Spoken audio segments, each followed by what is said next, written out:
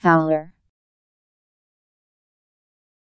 That which howls, especially an animal which howls, such as a wolf or a howler monkey.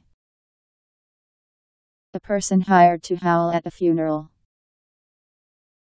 Other senses are derivatives of the intensifier howling, as in howling wilderness, Deuteronomy 30 to 10.